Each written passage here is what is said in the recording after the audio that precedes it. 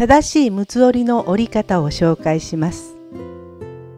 六つ折りってこんな風に折っていませんか？まず三角から折り始める場合が多いと思います。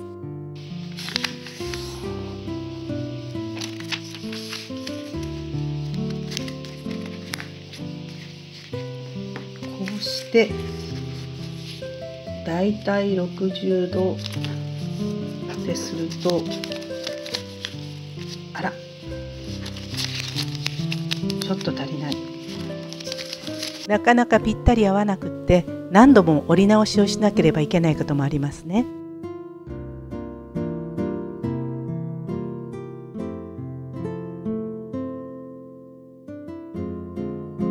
やっと折れました。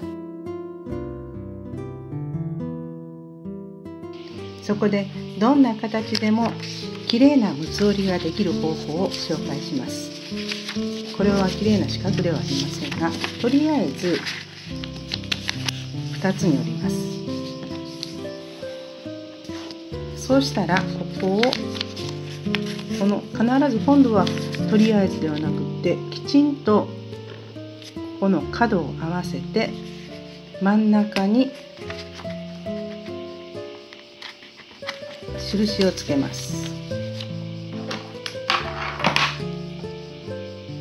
ですね。そうするとこことここの長さが同じになります。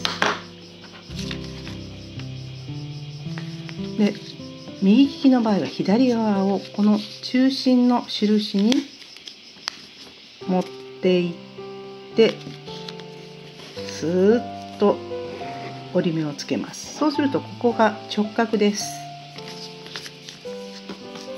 よくわかるように線を引いてみましょう。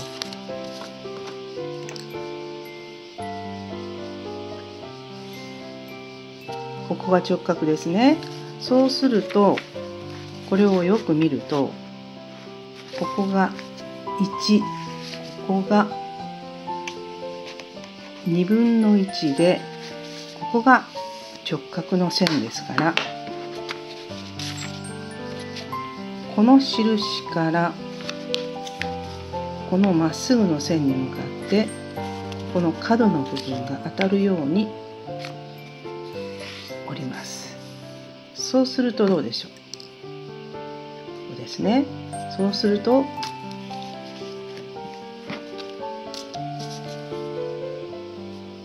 この部分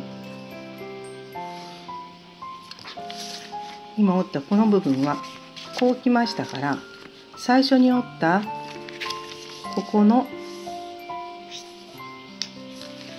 この部分と同じ長さです。つまり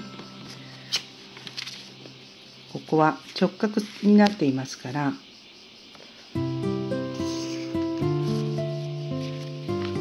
ここで正三角形ができます。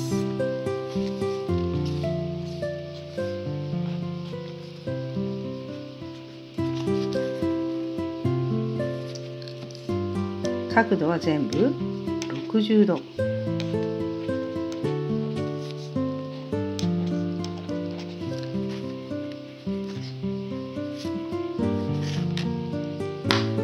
でこのままこう一度裏返してから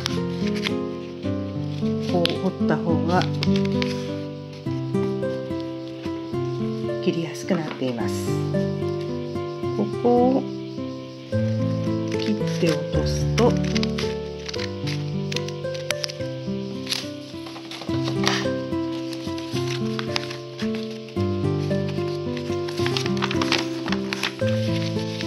六角形ができました。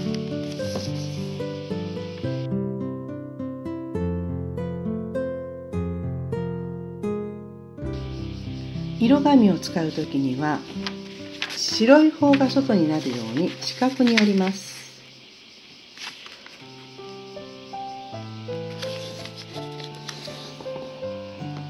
よく三角に折りますがまず四角です。そして先ほどと同じように真ん中に印をつけて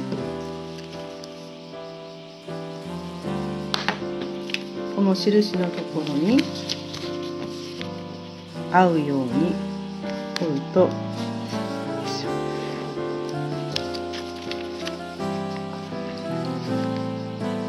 こが直角のここが2分の1になりますね。でこの真ん中の線に合わせてここから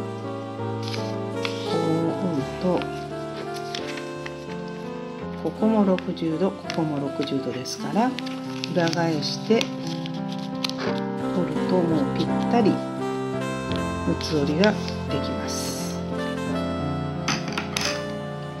これを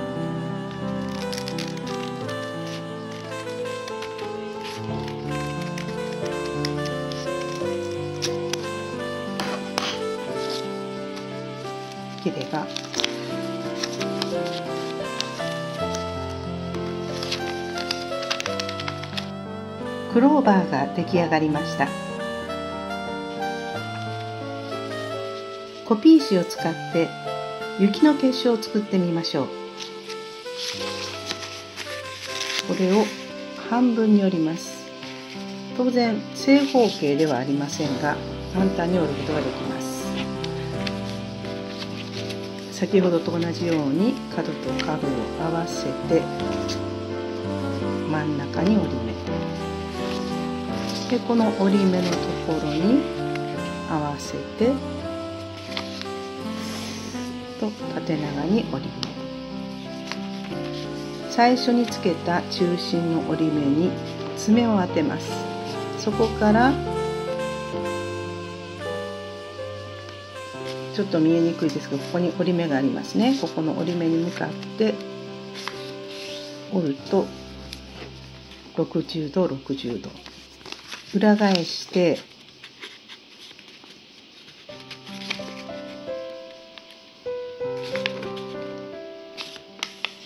これは三つ折りがきれいにできました。氷の結晶の場合はこれをさらに半分に折ります。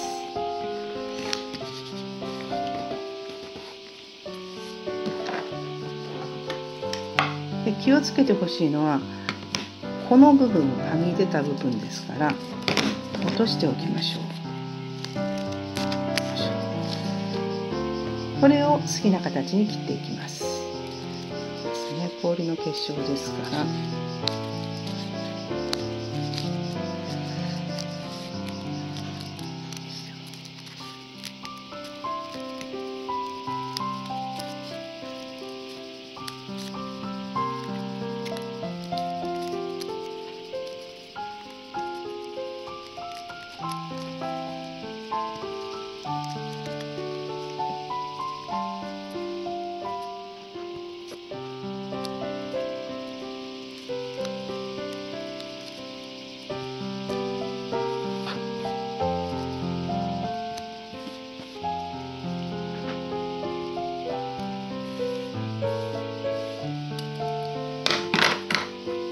これを広げてみます。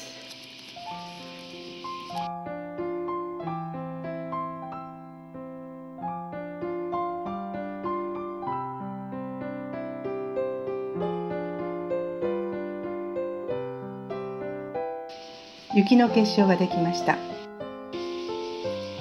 丸い感じに切っても面白いです。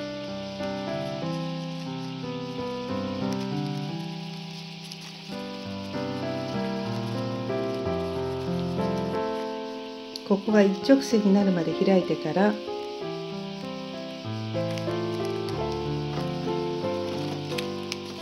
つに開きましょう。